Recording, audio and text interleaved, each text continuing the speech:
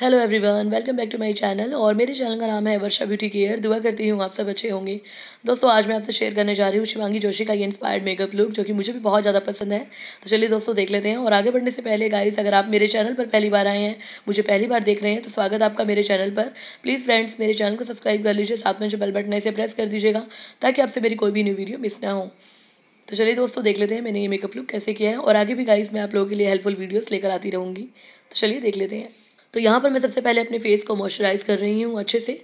और वैसे भी गाइस बहुत ज़्यादा ज़रूरी होता है मेकअप से पहले अपनी स्किन को मॉइस्चराइज़ करना, ताकि आपका मेकअप भी अच्छा दिखे और आपकी स्किन भी हाइड्रेट रहे। तो ये देखिए, मैंने मॉइस्चराइज़र लगा लिया है। अब मैं यहाँ पर लगा रही हूँ हुडा ब्यूटी का ये प्राइमर और काफ़ी अच्छा प्राइमर है। मैंने इसे अभी एक दो बार यूज़ किया मुझे काफ़ी पसंद आया है। इसकी खुशबू भी बहुत ही अच्छी है। और इसकी परचेज लिंक भी मैं आपको नीचे डिस्क्रिप्शन बॉक्स में दे दूँगी तो आप एक बार चेक ज़रूर कर लीजिएगा। आज की इस वीडियो में गाइज़ मैंने कुछ न्यू प्रोडक्ट्स का यूज़ किया है तो उनका सभी का लिंक मैं आपको दे दूँगी डिस्क्रिप्शन बॉक्स में। तो यहाँ पर मैं लगा रही हूँ स्विस ब्यूटी की ये फाउंडेशन लगा रही हूँ।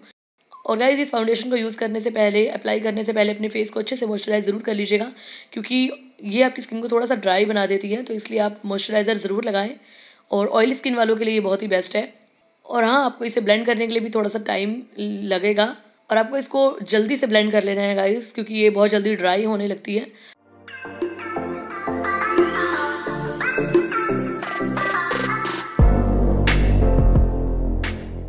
तो अब मैं यहाँ पर लगा रही हूँ मैक का कंसीलर और इसे मैं एक फ्लैट फाउंडेशन ब्रश की हेल्प से अच्छे से ब्लेंड कर लूँगी।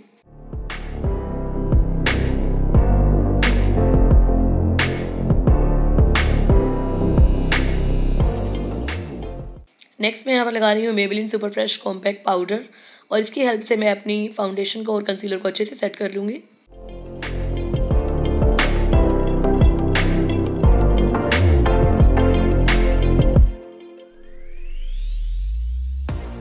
नेक्स्ट मैं यहाँ पर अपनी आईब्रोज को फिल कर रही हूँ।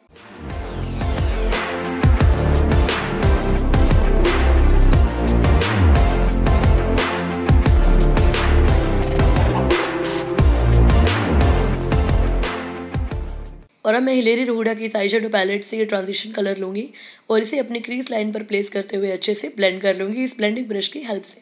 और नायरा का जो आप लुक है, आप देख सकते हैं, बहुत ही सिंपल है, बहुत ही सुंदर लग रही है। वही सिंपल से लुक में भी बहुत ही खूबसूरत लग रही है। बहुत ज़्यादा हैवी मेकअप नहीं किया हुआ है उन्होंने इस लुक में, आप देख सकते हैं।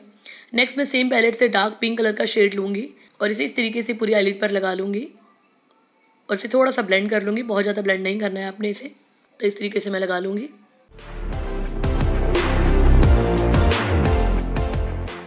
नेक्स्ट मैं सेम पैलेट से ले रही हूँ लाइट पिंक कलर का शेड और इसे मैं फिंगर टिप की हेल्प से लगा लूँगी अपने आईलिड पर, उसी सेम आई शेडो पर। और इस तरीके से मैं इसे थोड़ा सा ब्लेंड कर लूँगी एक स्मॉल फ्लैट ब्रश की हेल्प से।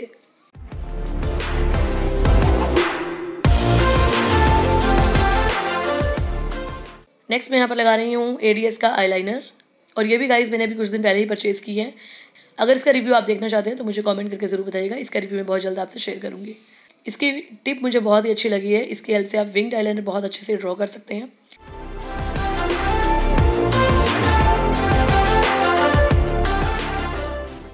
नेक्स्ट मैं यहाँ पर लगा रही हूँ मेबलिन की काजल।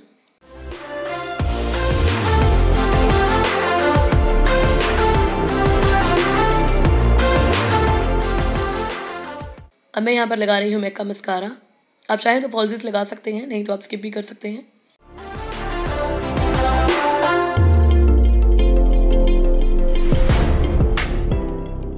अब मैं अपने फेस को कंट्रोल कर रही हूँ यहाँ पर। द जैकलिन हिल पैलेट से डार्क ब्राउन कलर के शेड से। इस कंट्रोल ब्रश की हेल्प से मैं अपने फेस को कंट्रोल कर रही हूँ।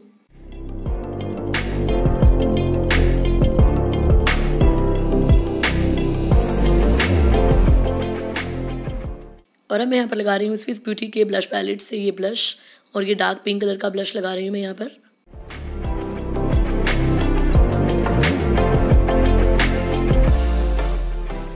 नेक्स्ट मैं सेम पैलेट से अपना हाइलाइटर भी लगा लूँगी।